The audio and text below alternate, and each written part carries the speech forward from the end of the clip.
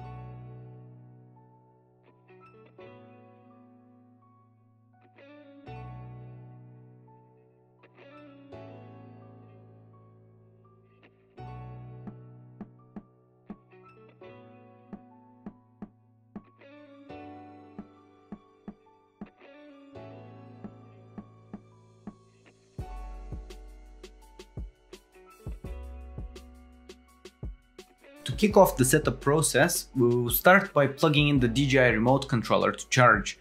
It's important you do that first because it might take anywhere between 3 to 4 hours or more for the first charge. And you have to have that done before we update the firmware. So make sure you plug in the radio to charge as soon as possible. You can do that with the provided USB-C cable. Next, we're gonna go through a few simple but nevertheless necessary steps. Um, we're gonna install the head strap to the goggles.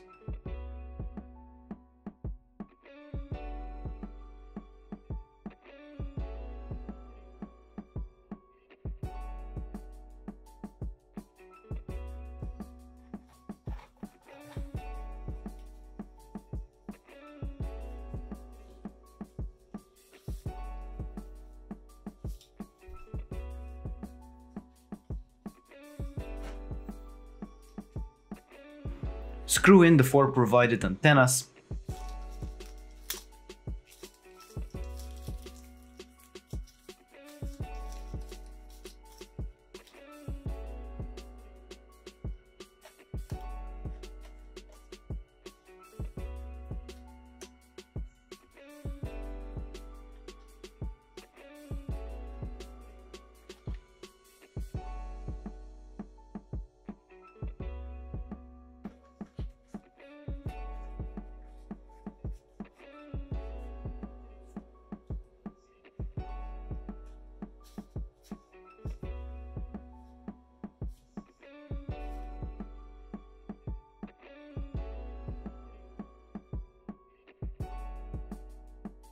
Next, let's install the antennas in the air unit.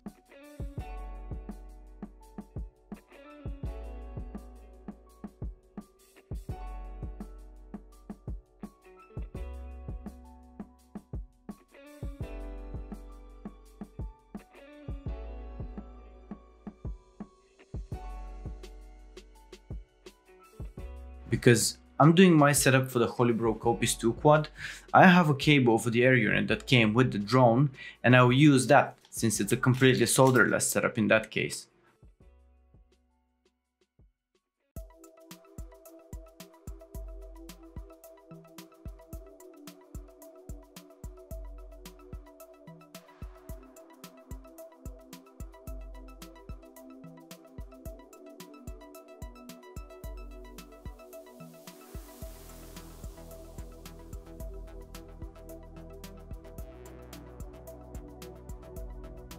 Next up, let's activate the system and do the software updates.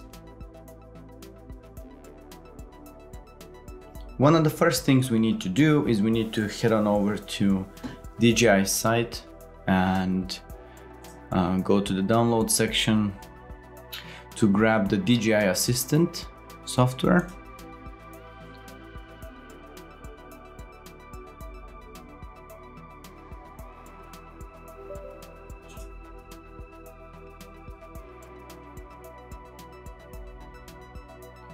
proceed to install the software, accept the agreement, the default location is fine, sure, accept most of the defaults.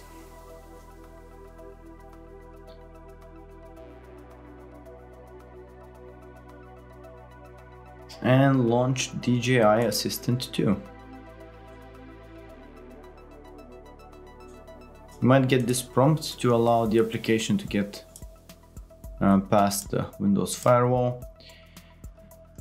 You need to accept the terms of use, hmm, privacy policy, data authorization.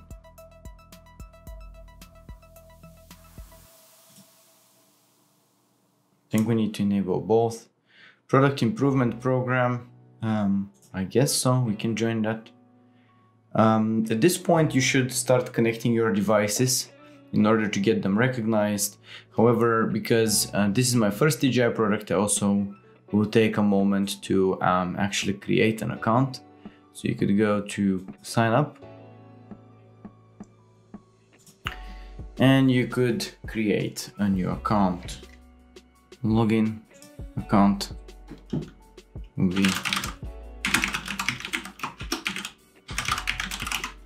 this verification code you 9G and sign in. I think we can start adding our products. Um, we can start, for example, with the goggles.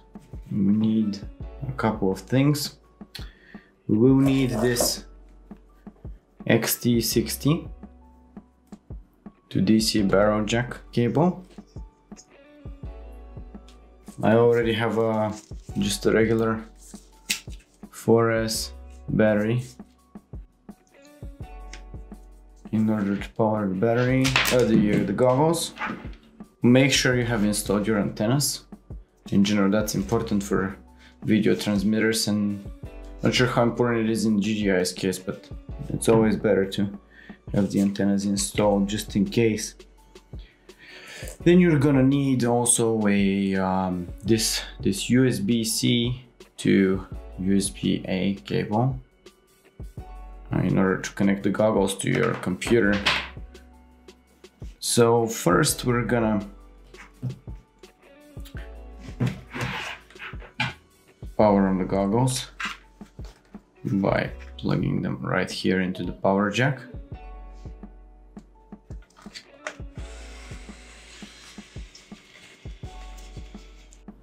I don't think you can really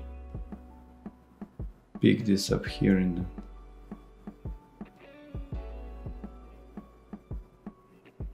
the So at this point we're gonna also connect the goggles via the USB-C port in here. and connect them to a computer. It's possible that this cable did not make good connection, so do make sure to press it in all the way uh, nicely. If everything works out fine, you should actually see um, the goggles being recognized recognized in the connected devices in here. So, and the device pigeon is ready, is set up and ready to go, it seems. Um, we're gonna click here FPV goggles. We're gonna start activation activate with this account, confirm the account, click next, agree with more stuff and activate the product. Once activation is successful, we then need to update the software for the goggles. New firmware is available, updating strongly recommended. There is a host of new features. Um, one of the things that was released um, latest by DJI is this um, ability to view HDMI broadcast. We are definitely going to be updating the firmware on the product. Let's see how long this takes.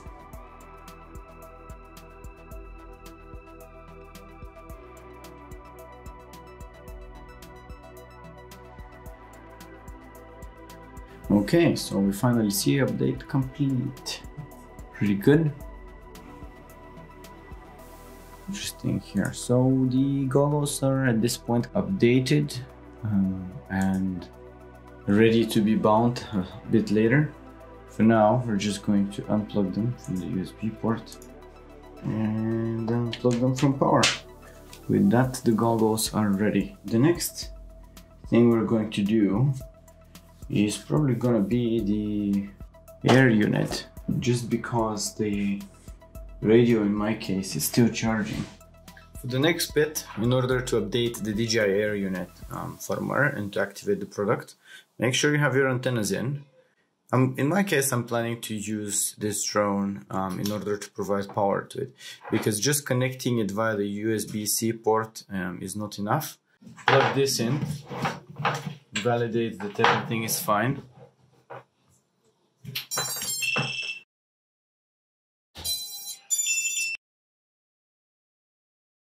In order to provide power to this, we need to plug it in via this connector and then we're gonna connect it to the computer with the USB-C. Actually wondering, I think it could be that we need to take the top plate off when we're actually doing this setup later.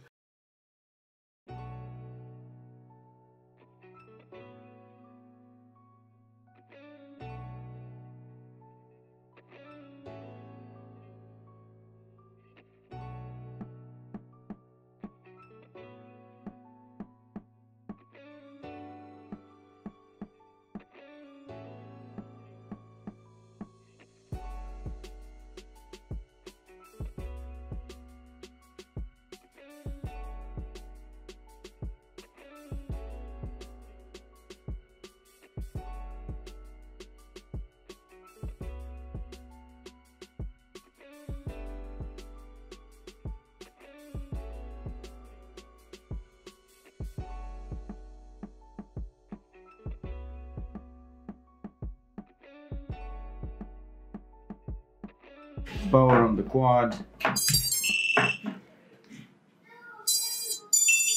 Everything seems to be fine. The air unit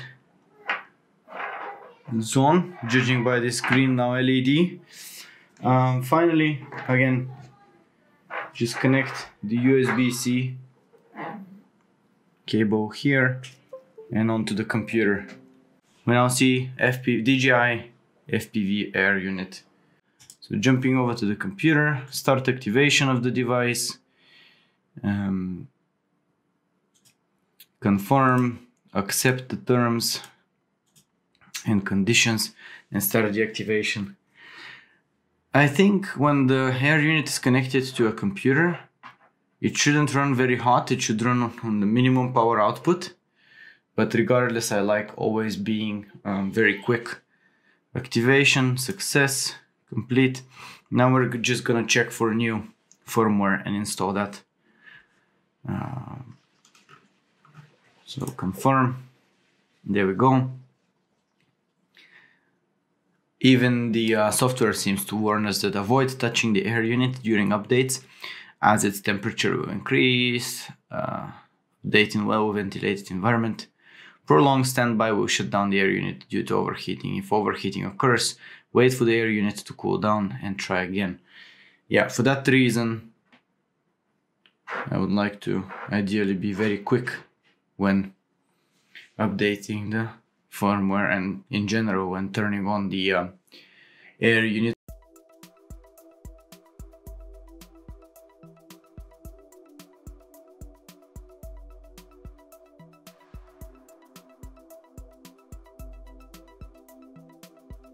And now that we've updated the firmware on the air unit and we've waited a little bit for the uh, unit to cool off, we can actually go ahead and um, set it up here within the drone. Um, just make sure that they're plugged in correctly and then it goes here to the back port. Nothing special about that.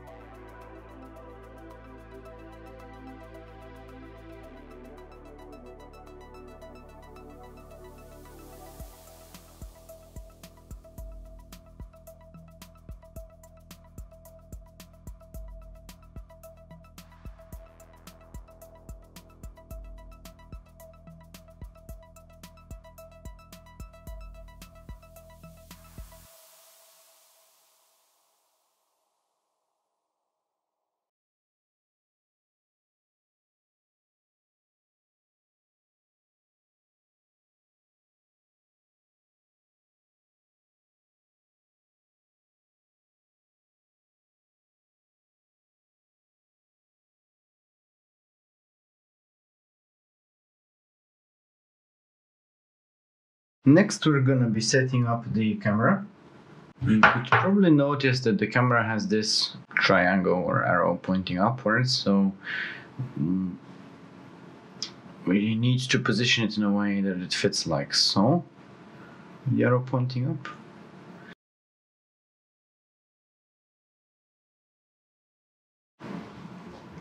And then we're gonna move the camera back until we see the mounting holes matching the holes on the 3D print, something like that. And you could adjust the angle. I'm gonna go for something like 30, 35 degrees tilt. Let's do it.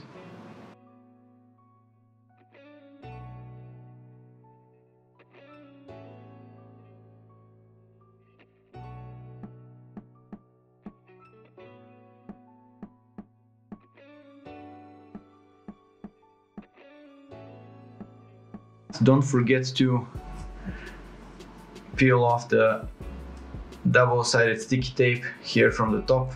I guess this is to help with um, keeping it placed the air unit sandwiched between this top plate and um, and actually the, the back TPU mount. But yeah, you want to make sure that it's nice and snug against the back and then just apply that. Top plate down. Once you are sure it's positioned in place correctly you could try to push the air unit upwards against the double-sided sticky tape and make it stuck, stick there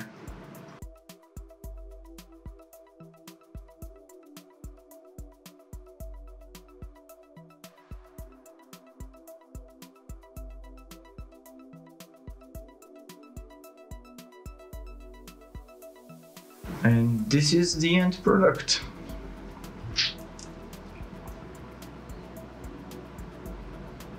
More or less satisfied with the result for now.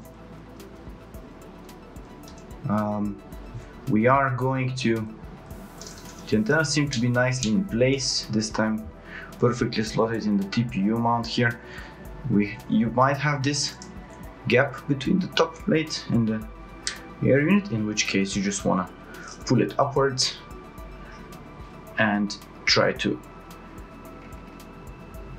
press it against that top plate nicely so that it could catch onto the double-sided sticky tape. And uh, we're good. Really the only thing left is to um, fix the, the transmitter to bind and to install a couple of SD camera uh, SD cards definitely don't forget to put an SD card in the air unit and in your goggles um, finally after charging the transmitter we're gonna connect it to a computer I need to turn turn it on okay and we finally see DJI FPV remote controller. Start activation, select the account, confirm the settings, agree.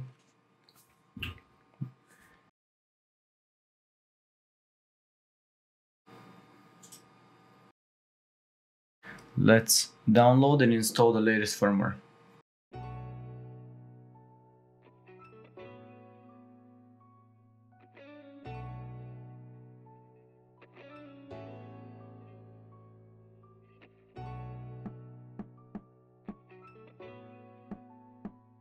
Okay, and finally we're done with this update as well. So now all the devices are updated, you just need to link them and hopefully just go fly. Okay, finally time to do the binding, or linking as DJI calls it in their case. And you must start with the goggles, especially if you're about to use the transmitter as well. To do that, we're gonna power on the goggles, again using, uh, well in this case I'm using some random 3S battery to provide power here and then I'm gonna power on the goggles. Please do make sure that you have your antennas on, etc. Um, the power plug is right here, as is the bind button right there. I'm gonna power on the goggles. I'm gonna power on this quad. Plugging it in to this XT like this. The air unit should go red to let us know that it's ready to bind.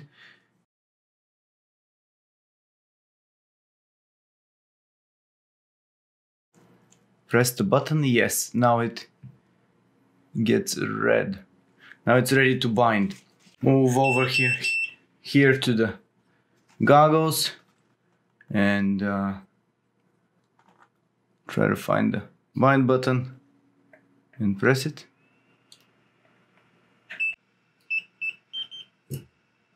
There we go. And this, the air unit turned green. Let's see what the goggles are showing. The goggles are showing picture, which is great. Slightly blurry, but that's gonna do for now. Now that we're done with this, I will power cycle the goggles by unplugging them from here. I'm also going to turn this off. I want to verify that my link is working. Um, be mindful of how much time you take to do these operations because you don't want to get this unit way too toasty. Um, I guess all the time.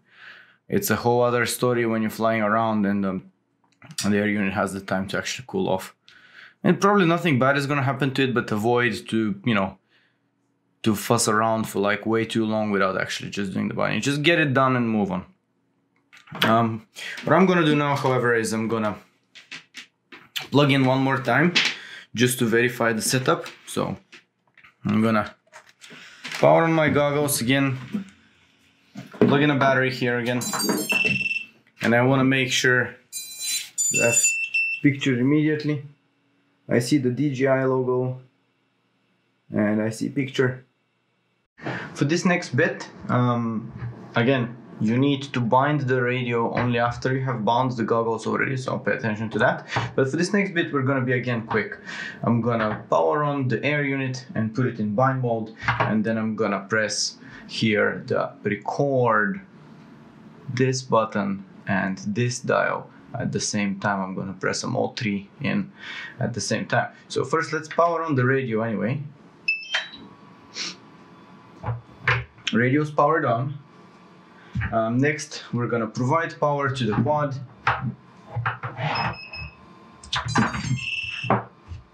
And once, once you have power, um, let's take a look at the other side actually. So this is what we care for.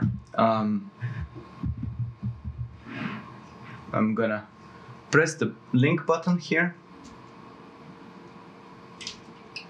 Now that it's in linking mode, I'm gonna press this, this, this here, this here, and this at the same time in one, two, three. Press them in, green light here. I think we should be bound successfully. I'm gonna unplug, unplug the drone. Green light here, which is now red to denote the link status. Um, just to test things real quick, I'm gonna plug the drone back in. Not doing anything else this time. And I would assume, not very familiar with DJI products, but I would assume that this should turn green if we have good link. Good, we should be ready to arm and to go fly. That we finally have link, uh, let's try to test if we can arm the quad. It would be nice if you could actually go fly today. Again, connected to power. I think by default this should be the arm switch that they've connected in Betaflight. Probably requires us. There we go. And we have armed. The motors are all rotating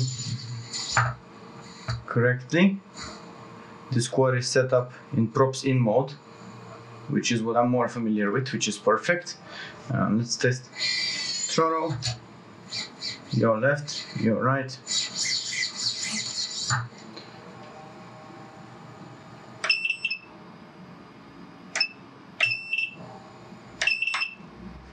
one of the last things we're gonna do before we go out flying is I have a couple of uh, SD cards here. These are just some random, hopefully high speed enough, 32 gig um, cards. I'm gonna plug one each, each into uh, the uh, DJI Air unit and one into the goggles. I wanna get all the footage I can. Nope, that's not the right way. This is the right way. this way. And again, it should click in very nicely. Actually, yeah. And there we go. I'm gonna power the goggles on. I'm gonna take a look if um, if uh, the SD cards have to be formatted in some sort of a way. Format SD card. There is indeed. Goggles, aircraft. I have an option for goggles. Format SD card, confirm. SD card formatted. The Holybro uh, Kopis 2 HDV comes with two sets of actually different props. Um, we have this TS1, uh, whoa, oh, sorry, T5, uh, 5147 and we have the T5143S. Um, one of them is like slightly higher, more aggressive pitch, and the other one is like a more, um, like a smoother prop. I'm gonna go for the slightly smoother prop for now, for the first flight, which is the T5143S with uh, the lower pitch. Even though I think I'm going to prefer the other ones better. Let me just double check that I'm not lying by comparing. But I do think that yes, this is a slightly more aggressive prop. So you could take a look at the pitch angle on this one, which is much more linear, not at all aggressive versus this one is a bit higher pitched. So we're gonna go for the lower pitched drops. One thing that is gonna be a bit suboptimal about this test is the fact that I didn't manage to get my new 6S batteries uh, on time. They're still stuck somewhere in the post. So I don't know when those are gonna come in finally, but we're just gonna fly on 4S today. Um, I think in general, we're gonna be just fine doing that. Um, we shouldn't obviously expect um, crazy performance from it, but that's should be the only difference. Now, as mentioned, the props, and as we noticed earlier, the props are in props in mode, which means these motors are rotating um, in this direction. So if we put the cra craft here, in, we're going in this direction, which means that a prop where the pitch is going from low to high needs to be put on this motor in order to be going in this way and bringing in the air in this direction. Um, that means that a similar prop should be uh, placed here. We have this type of a prop here that is going to be going this way and this type of prop here is going to be going this way. Uh, I'm just gonna add the motor nuts next. And um, and uh, yeah I'm really excited I'm really excited to finally go fly this thing. Yep. So that's why you do hover tests I'd like to thank you folks for watching and promise that in part 3 we really finally go flying this quad. I hope you found this video useful and entertaining and if you've made it this far consider liking the video if you did and subscribing to the channel to motivate me to make more videos. Either way, enjoy FPV and happy flying.